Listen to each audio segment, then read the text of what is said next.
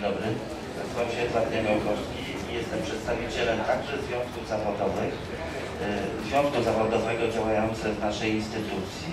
Jest to instytucja artystyczna, także myślę, że jest to chyba taka ciekawostka, y, że wśród Państwa powolutku, powolutku artyści może będą też odnajdywać swoje drogi postępowania z pracodawcami. Y, Chciałbym na początku jakby wprowadzić y, w sytuację y, naszych, naszej grupy zawodowej. Ja mam na myśli y, aktorów, muzyków, tancerzy, y, artystów baletu, którzy od jakiegoś, od pięciu powiedzmy lat starają się wyjść y, naprzeciw tym, tej y, realiom, jakie zaistniały w- naszym kraju. I chciałbym jakby tytułem wprowadzenia y, powiedzieć o takiej sytuacji, y, od kiedy się zaczęła konsolidacja naszego środowiska. Jest, jest to informacja z ZASP-u w momencie, w tym roku, w którym powstał projekt nowelizacji ustawy o organizowaniu i prowadzeniu działalności kulturalnej. I chciałbym Państwa jakby wprowadzić, y, y, po to to mówię, żeby zobaczyć jaki był punkt wyjścia y, naszego środowiska. Mianowicie, według tego projektu wszystkie instytucje, instytucje kultury podzielono na instytucje artystyczne działające sezonowo, teatry, opery, operetki, filharmonie, zespoły pieśni i tańca, orkiestry i inne instytucje kultury, przykład y, muzea, biblioteki, domy kultury, galerie i instytucji artystycznych ma dotyczyć szereg nowych regulacji, przykład planowanie pracy w ramach sezonu, a nie jak w innych instytucjach roku kalendarzowego. Co to, co to oznaczało? Artyści, aktorzy, muzycy, tancerze mają być zatrudniani na podstawie umowy sezonowej na czas określony od jednego do pięciu sezonów. Nie później niż 30 kwietnia ostatniego sezonu, na jaki umowa została zawarta, strony umowy będą musiały określić zamiar jej przedłużenia lub rozwiązania. Artyści legitymujący się stażem 15 lat pracy na podstawie sezonowych umów artystycznych będą mieli po tym okresie prawo do zawarcia umowy na czas nieokreślony. W projekcie nowelizacji zaproponowano także zapis zakazujący prowadzenia przez artystę działalności na rzecz innych podmiotów bez zgody pracodawcy. Y, Może to dotyczyć na przykład aktora zatrudnionego na etacie w teatrze, a jednocześnie zamierzającego występować w filmie, w reklamie, serialu telewizyjnym, albo muzyka zatrudnionego w filharmonii na etacie i podejmującego dodatkową pracę. I według opinii artystów przepisy projektu mogą drastycznie wpłynąć na poziom bytowy i artystyczny wykonawców. Argumentowali oni e, na podstawie sezonowej umowy na czas określony nie będą mogli wziąć na przykład kredytu w banku, bo ten wymaga od kredytobiorcy w większości przypadków zaświadczenia o zatrudnieniu na czas nieokreślony. Prezes związku, bo w tej chwili już jest w- nowej kadencji y, inny prezes, a pani Szczepkowska, która w tym czasie była prezesem ZASP-u, oceniła, że proponowana, zaproponowane w ustawie poprawki są łagodnie mówiąc niekorzystne dla artystów. Według nich artysta wykonawca ma zarabiać jedną trzecią przeciętnej krajowej, tak, jedną trzecią przeciętnej krajowej, nie mylę się, 12 godzin pracy, nie ma praw do dodatkowego zarobku, a po 15 latach może wziąć dopiero kredyt. Także to był nasz punkt wyjścia do tego, żeby jednak nasze środowisko coś zaczęło robić. Widzę uśmiechy. Na szczęście udało się co nieco, bo e, nowela oczywiście weszła w ustawy, udało się e, parę rzeczy zrobić, ale do dzisiaj jest sytuacja taka, że E, jeśli chodzi o stałe umowy, na szczęście zachowano nam to i możemy pracować na umowach na czas nieokreślony. Ale jeśli chodzi o dodatkowe prace, a zapewne Państwo się orientujecie, że przy e, tych dochodach, jakie tutaj zasygnalizowałem, to większość z nas e, po prostu, mając możliwość e, gościnnie występowania w różnych imprezach, brania udziału w różnych koncertach, korzysta z tego. I to daje nam po prostu to, że możemy jakoś utrzymać się przy dochodach takich umożliwiających nam pozostanie przy tym zawodzie. Chociaż bardzo wiele osób zrezygnowało, no bo byt określa świ- świadomość, prawda? I to jest jakby punkt wyjścia do tego, co chciałbym powiedzieć y, o integracji środowiska. Y, Wiem, że już w wielu instytucjach artystycznych powstały rady pracowników. Nie wiem, czy są przedstawiciele wśród Państwa z instytucji artystycznych.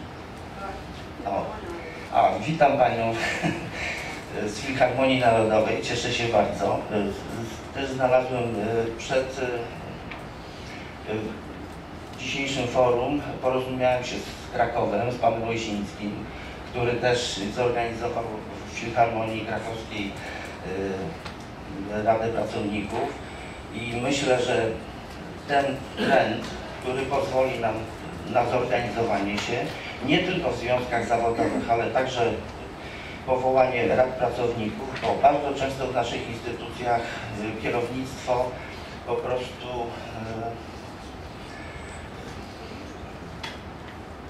y, jest y, dość apodyktyczne w stosunku do decyzji i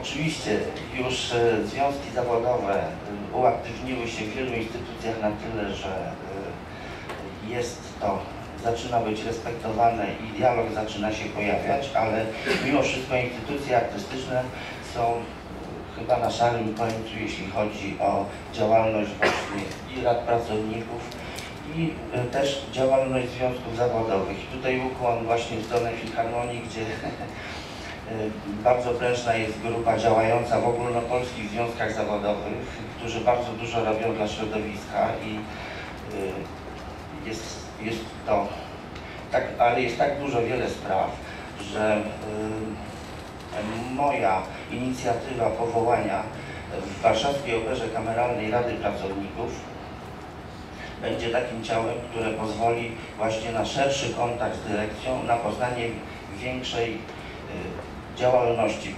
Ja składając wniosek y, y, o powołanie Rady Pracowników, pierwszą rzecz jaką usłyszałem od pana, który jest prawą ręką dyrektora, a co chcecie zaglądać do bilansu? To, to była taka pierwsza reakcja. A na spotkaniu, na którym ja byłem jako wnioskodawca Rady Pracowników, dostałem informację taką, że dyrektor stwierdził, to może ja się zapiszę do Rady Pracowników. No więc y, wspaniała znajomość jego przygotowania do, do tego spotkania, kiedy sama ustawa zabrania dyrektorowi. Następnym punktem, który też troszeczkę mnie rozbawił, to mówi, no skoro u nas jest na pograniczu 250 osób, czyli czy, czy, czy tro- troje pracowników będzie wybranych do Rady Pracowników, to zwolnimy parę osób. No właśnie stosunek dyrekcji do, do nas y, bardzo ładnie został kwintesencja y, do naszego środowiska właśnie ze strony dyrekcji została wykazana. I dlaczego u nas powstaje Rada Pracowników? Właśnie dlatego, że, że e, żeby się zorganizować w ten sposób, żeby takie ciała mogły e, być przekaźnikiem między dyrekcją, a raczej między pracownikami w stosunku do dyrekcji, bo są e, Warszawska Opera Kameralna, bo może teraz już zejdę na, na, do, do naszej tego poziomu ogólności. Boryka się od paru lat, e, jest, jest na granicy e, zawieszenia nawet działalności. Nie wiem, być może część z Państwa kojarzy, mieliśmy taką akcję Ratujmy Warszawską Operę Kameralną. Graliśmy koncert e, Requiem przed ministerstwem na krakowskim przedmieściu to był nasz akt takiej trochę desperacji, ratowania właśnie instytucji. I wprawdzie zmieniła się dyrekcja i mieliśmy jako związki zawodowe dużo atencji e, i wykazaliśmy bardzo dużo dobrej woli w stosunku do nowej dyrekcji. No ale pierwszym założeniem było zwolnienie wielu artystów. No i tutaj, tutaj się okazało, że Żadnych kryteriów nie było, tylko widzi mi się jednej lub dwóch osób, które o tym decydowały. I właśnie, żeby nie doprowadzać do takich sytuacji, że jednoosobowo, czy, czy w gronie takim kolesiowym, nazwę to, e, są decydowane losy bardzo wielu osób, bez merytorycznych argumentacji, bez przedstawiania tylko dlatego, że komuś się ktoś nie podoba. Jest to zawód artystyczny i, i nie, nie, nie, nikt się nie musi wykazywać miarką, że ktoś coś źle zrobił, tylko jest to bardzo takie subiektywne, e, a my staramy się, że jeśli są jakieś propozycje zmian, to żeby to było mery- merytorycznie uzasadnione. Staramy się pisać pisma, e, staramy się tak redagować sprawy, żeby e, dyrekcję zmusić do merytorycznych odpowiedzi. I jak zap- zapewne domyślacie się Państwo, rzadko kiedy otrzymujemy satysfakcjon- satysfakcjonującą odpowiedź. Takimi drastycznymi przykładami, ja sobie nawet tutaj wypisałem, była na przykład propozycja e, dla osób, które podpisały umowę, umowę o nieokreślonym terminie, stałe umowy o pracę, e, postanowiono jeszcze raz przeprowadzić egzamin. Ale tutaj tytułem wprowadzenia muszę powiedzieć w takiej sytuacji, że każdy z muzyków, przychodząc do jakiejkolwiek orkiestry, posiadając e, jakikolwiek dyplom z jakiejkolwiek uczelni, polskiej lub zagranicznej, musi zagrać egzamin. To jest wymóg w każdej orkiestrze. Po tym egzaminie jest okres próbny, który trwa odpowiednio e, w zależności od tego, ile jest przewidzianych e, wydarzeń takich koncertowych, po czym jest umowa na czas określony i dopiero po roku, ewentualnie, jeśli ktoś się sprawdza, dostaje umowę na czas nieokreślony. I w sytuacji, kiedy postanowiono zrobić u nas reorganizację e, i przedstawiono muzykom taki projekt, że sami dyrygenci usiądą, usiądą w komisji, a muzycy będą grać na swoje stanowisko, które wcześniej mieli umowę o pracę, czyli mając umowę o pracę aktualną, będą na swoje stanowisko ponownie zdawać egzamin. Także jest to właśnie. Teraz jeśli słyszę, że sprawy socjalne, sprawy takie e, rekreacji i tak dalej, to my jesteśmy na poziomie po prostu naszych e, etatów i były nawet u nas takie sytuacje, że e, koleżance wręczono, mimo sprzeciwu związków za- zawodowych, wręczono wypowiedzenie. Ona złożyła pozew do sądu pracy i, i taki przestrach dyrekcji, że nie doprowadzono jednak do, do rozprawy e, i do dzisiaj ta koleżanka pracuje. To takie właśnie mamy punkt wyjścia i chyba w takiej sytuacji ja uważam, że powołanie Rady Pracowników jako ciała takiego, które będzie broniło naszych różnych spraw, nie tylko spraw osobowych, ale także i takich czysto pracowniczych. Ja mogę nawet y, przeczytać, bo w naszych nawet w naszym statucie naszej instytucji jest zapis, który mówi, że pracownik jest zobowiązany wykonywać pracę sumiennie i starannie oraz stosować się do poleceń służbowych. Kropka. Wszystko byłoby bardzo fajnie, bo jest to zapis z kodeksu pracy, tylko jeszcze jest w kodeksie pracy taki przecinek i dalsza część tego, e, co, co myśmy jako związki wykorzystali. Właśnie argumentując to, to przesłuchanie, które było przewidziane dla wszystkich e, muzyków orkiestry. I ja teraz doczytam drugą część, która jest zgodna z kodeksem pracy czyli stosować się do poleceń przełożonych, które dotyczą pracy, jeżeli nie są one sprzeczne z przepisami prawa lub umowy o pracę.